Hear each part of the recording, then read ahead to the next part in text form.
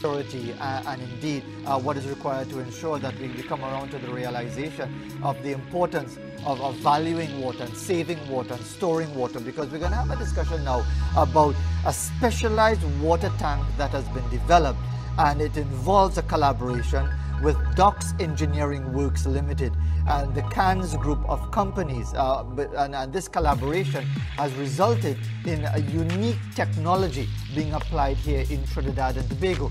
This tank is the first of its kind being built in Trinidad and Tobago. Among its many benefits, uh, these kinds of tanks can be placed in tight spaces, underground. In this way, both residential, commercial and industrial users will be able to save space and this is a great advantage over other water storage tanks because we know for many people, especially those who rent and in cramped areas, tight spaces, you don't have the space for a normal 400 gallon tank or 800 gallon tank or a thousand gallon tank because you're only getting water once a week or twice a month. So, so, so, so that is certainly a challenge. Well, to tell us more about this new technology and its application here in Trinidad and Tobago, we're joined by the Managing Director of Docks Engineers. He is Shamdeo Gosain. And also uh, joining us is someone with tremendous experience in this area of the construction industry. He's David Van Doren. He's the founder and CEO of Global Technology Building Systems. He's here with us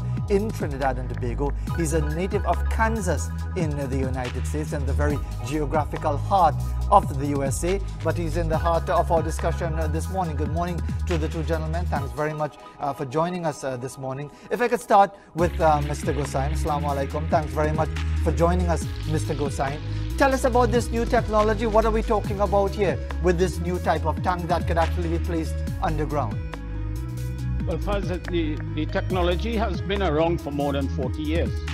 And we have been using the technology in Trinidad for more than 20 years for building uh, buildings. We have built a lot of uh, uh homes and all of that in, in Trinidad. However, um, this is the first time we are building a water tank of the capacity that uh, Mr. Niall Khan from Khan's Poultry has afforded us to put on the ground where he is going to use the tank for two purposes. It's, a, it's going to be a water storage and also it is going to be a wall, a retaining wall. So this technology, of course, um, waffle, it has the potential of using way less material. The reasons for this is that the panel is cast with 40% less than a solid panel and it also carries the strength of a, a full uh, size panel. So it, it really has material savings, cost effectiveness in this. However, this is a modular system that is cast off-site and then brought onto the site. So there's little work. In fact, we started putting in this tank on, on Monday, and we already at the stage where we are just talking it. The, the tank is already in.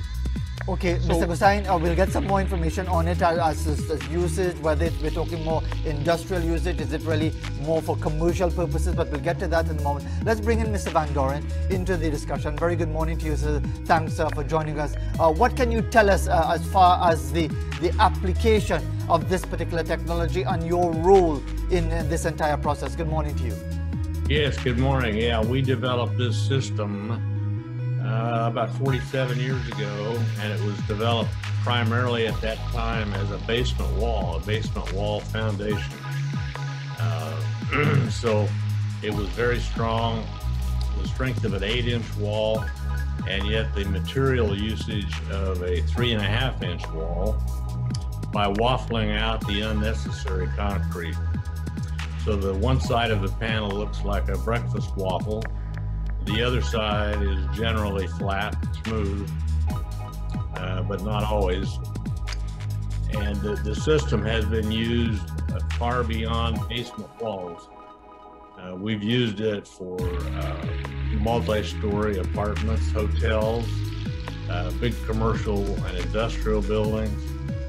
And uh, we have also done quite a few tanks in various locations many countries require tanks uh, on the roof for uh, dependable water supply because these municipal water is not on all the time. Uh, you have to fill your tank when you can, and then you use it uh, as you need it from the tank.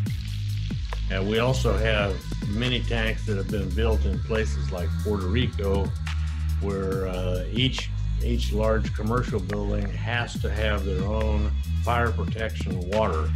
So when the fire truck rolls up to fight a fire, they draw water out of our underground cistern, which is normally under the parking lot. So it doesn't take up any room. But these are huge tanks, uh, often uh, 80 to 100,000 gallons. And that's similar to docks. uh, 75,000 gallon tank that is mostly underground here that serves uh, the dual purpose of a retaining wall and a water tank. And, and Mr. Van, Van Doren, be, before I, I, go back to Mr. Gosain for, for some final final thoughts, what about, uh, and to get ideas about costing and so on, what about the ideas of, of scale as far as can this be scaled up or down as far as requirements, uh, or are we talking primarily uh, for large scale commercial usage or large scale apartment type usage? Is that what we're talking about here, Mr. Van Doren? Yes, yeah, it can be scaled up to be much larger. It could be scaled down to be somewhat smaller. Uh, we've done uh, we've done tanks up to 350,000 gallons, which would be four or five times larger than this tank uh, that DOC is building here. So yeah, it's scalable from smaller to much larger. And, and going back to, to Mr. They're, Gos- yeah, and durable. going back to Mr. Gosain, just for some, They're some not final- like they're not like a steel tank that's going to eventually rust, or a plastic tank that's not going to stand up to the uh, environment. These are permanent tanks that should last a hundred years. I, I hear you on that. Um, uh, Mr. Gosain, uh, b- before time runs out on us, one of the, the concerns will always be not just as far as, as this technology and the application of this technology, and thanks for correcting me when I said that this was uh, something brand new. It's actually been around for quite some time, but it is the application here in Trinidad and Tobago. What about cost uh, as far as, as in installing something like this? Would people get value for money uh, as, as, far as installing something uh, like this? It appears that maybe Mr. Gosain is not hearing us at this time. I'm Mr. hearing, Van- I'm uh, hearing you now, Spud. Okay, right. So let me just quickly ask that question before time runs out on us. What are we talking about as far as cost is concerned? How does this compare with, with other com- competing applications? Okay, so uh, if we are talking about uh, um, a, a, tank uh, other than uh, what we are doing, you'll find that the short space, because uh, what does a tank last? a plastic tank, five, ten years? This tank would last you over a hundred years. So if you're looking at, at cost, um, apples to apples, you'll realize that the quality of what you're getting and where you're putting it, especially you can't put a plastic tank on the ground. You, uh, whereas you could simply put this underground, so it saves it for I, I, will say that commercial buildings and, and larger uh, uh, buildings, especially where you have to have retaining walls and all that, it is very cost effective. Um, so cost wise, if you are going to utilize it, invariably right here in, in CARICOM, a lot of these smaller countries like Antigua and St. Vincent and all of those, they have water tanks under their houses.